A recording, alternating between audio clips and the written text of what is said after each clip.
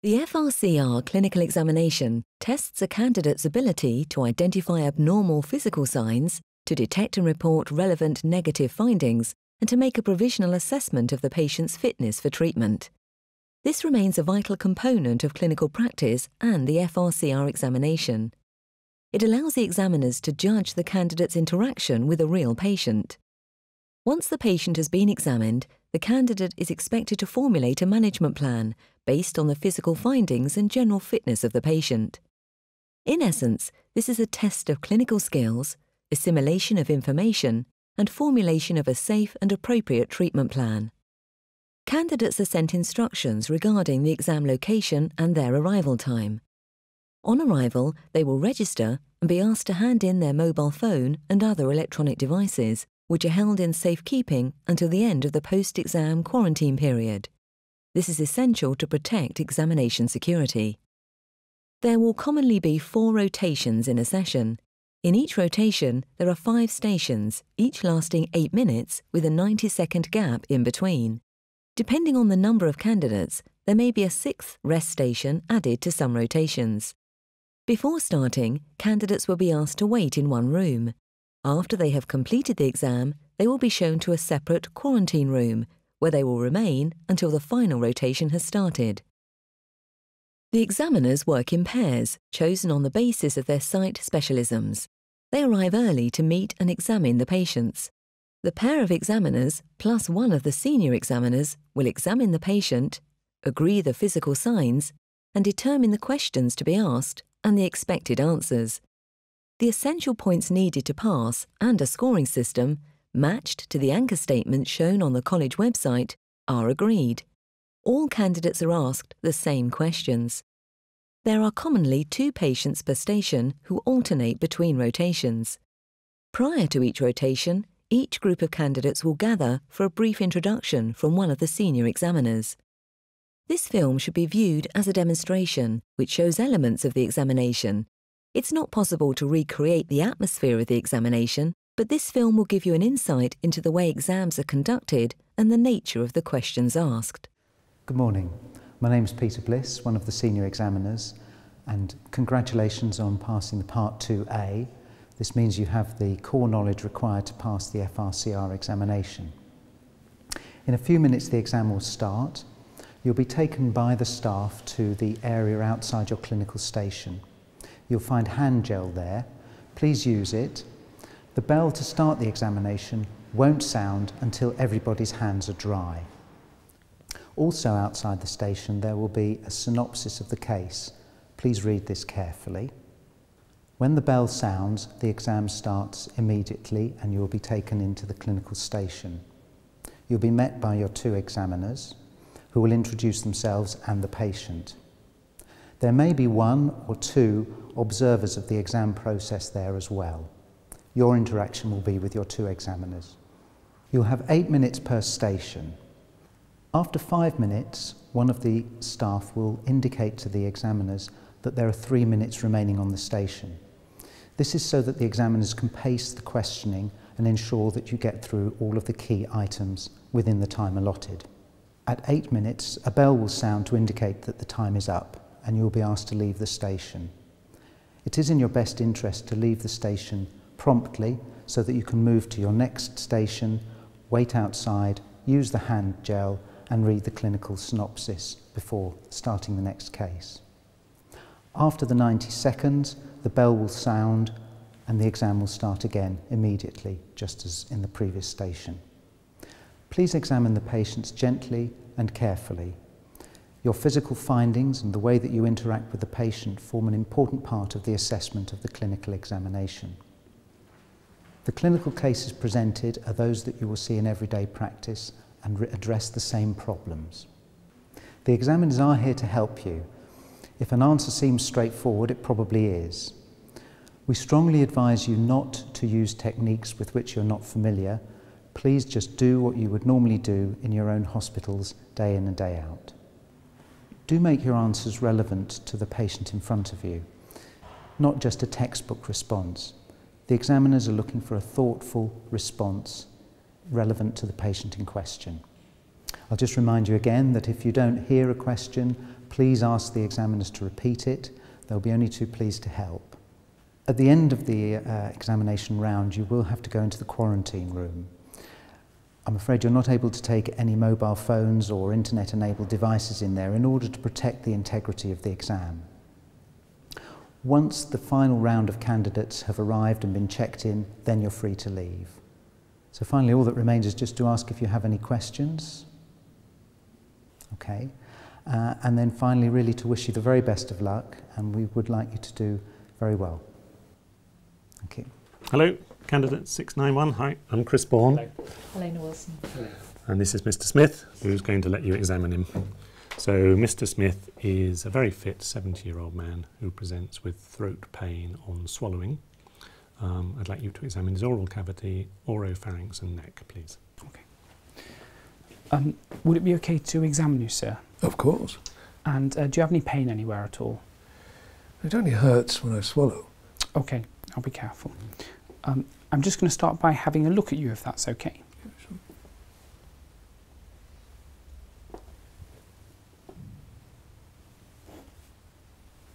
Can I have a look at your hands, if that's okay? That's lovely, excellent. I'm just going to have a quick look at your chest as well, if that's all right. Yes.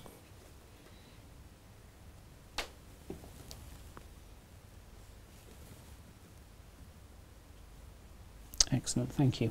Um, would it be okay to have a look in your mouth with a torch, if that's all right? Yes, of course. So I'm just going to pop this on. And I'm just going to get you to open your mouth nice and wide, if that's okay. That's lovely. I'm just going to get you to pop your tongue to the right hand side, if that's all right. And to the left. That's lovely. Into the top of your mouth, if that's okay. Fantastic, thank you. I'm just going to press down on the tongue with the wooden spatula while I have a look, if that's all right. Yes, go ahead. Just pop your mouth open, that's lovely.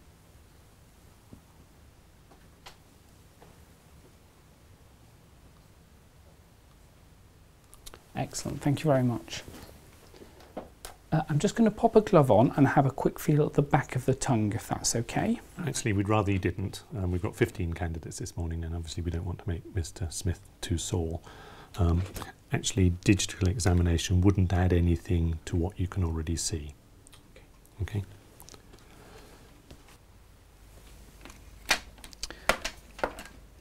Uh, I'm just going to have a feel of the neck, if that's okay then. Yeah, sure.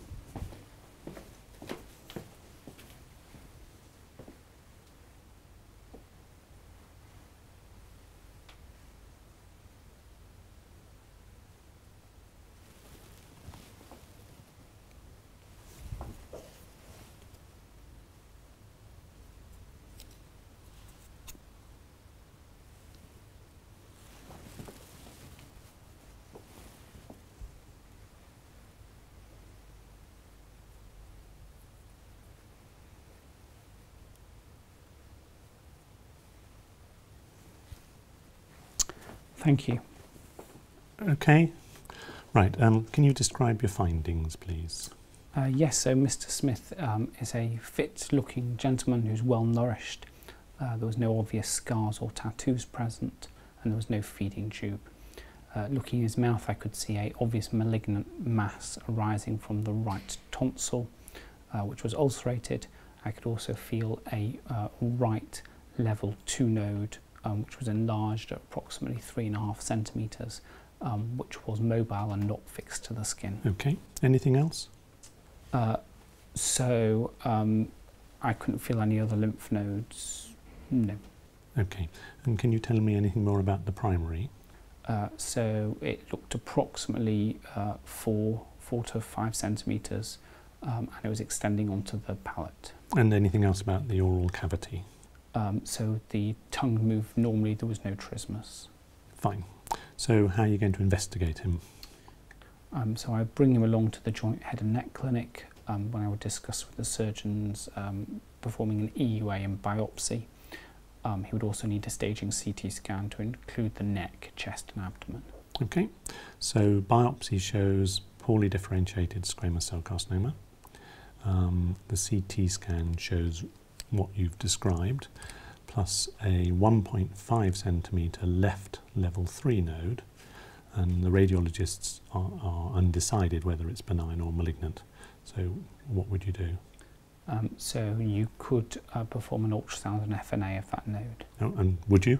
Uh, yes, I would. Okay, so he has the ultrasound which shows a reactive looking node, and FNA shows no malignant cells. Okay, so what stage? So uh, this is a primary tumour of over four centimetres. So it's a T3 tumour uh, N2A.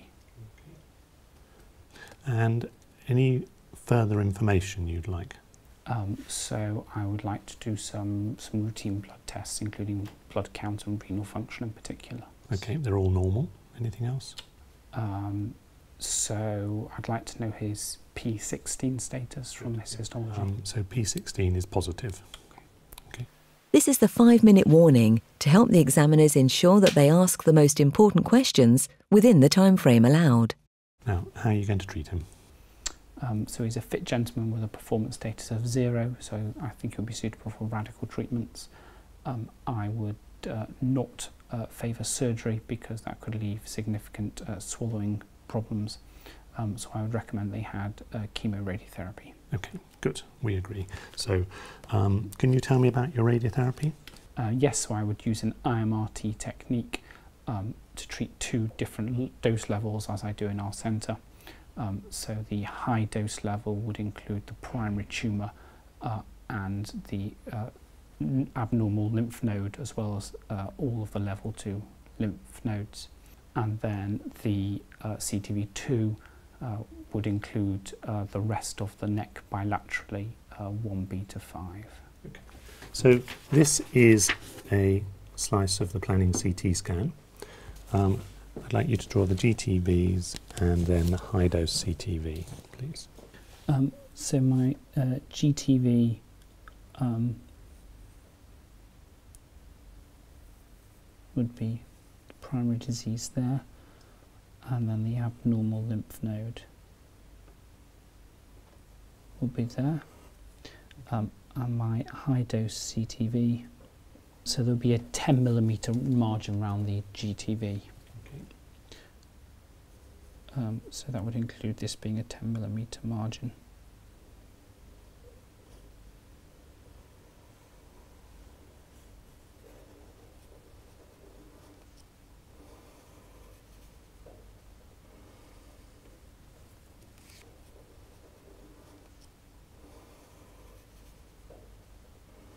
So, what else does your CTV1 include?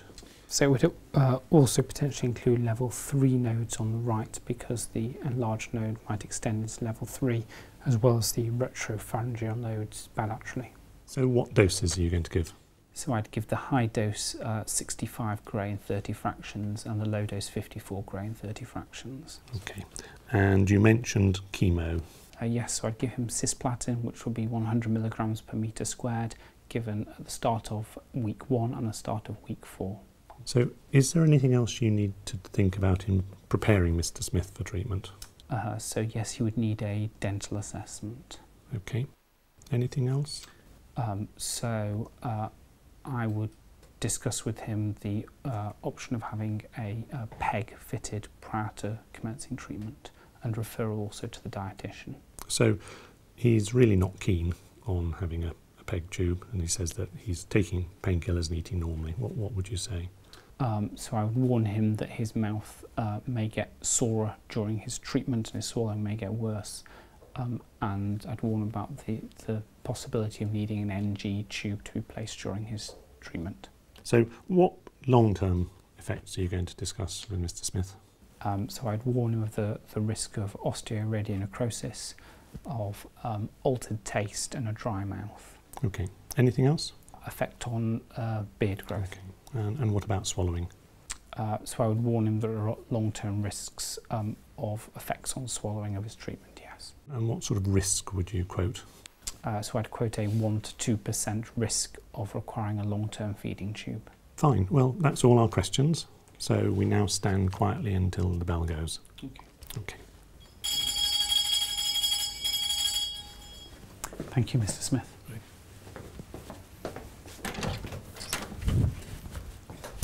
I thought he did a good GTV and node, um, sensible margin of 10 millimetres.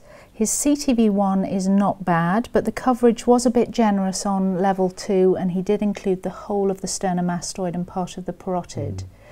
Mm. Um, he did manage to cover the retropharyngeal nodes though, so overall not bad. Yeah. He, he seems very safe and sound. Yes, but he didn't include the um, small node on the left. He yeah. did need some prompting um, and didn't push the patient for a feeding tube.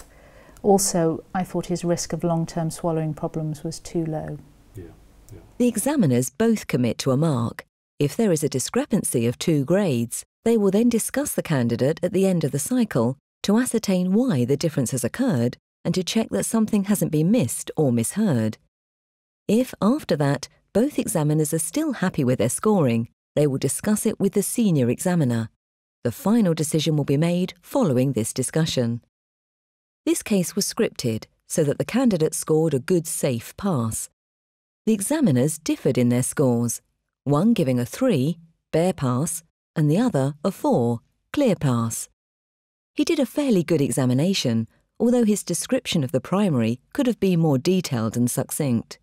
He also missed a small node in the left neck, but the examiners had agreed in advance that it was difficult to find and that this would not be marked too harshly. His staging and investigations were fine. His GTVs were good.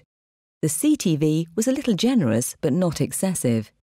His acceptance of Mr. Smith's desire not to have a tube suggests a lack of experience, as there's very little prospect of him getting through treatment without one and his estimate of the risk of long-term swallowing issues was too low. On the positive side, the management plan and chemoradiotherapy was safe and sound, with nothing that would have compromised this patient's chance of cure. We are aware that some centres would use three dose levels or omit some lymph node areas. Also, some centres may use a non-IMRT conformal radiotherapy approach. The candidate very sensibly described treatment according to his centre's local policy. The choice of technique will not affect the marking as long as the treatment is safe and well executed. It's the candidate's performance which is being assessed.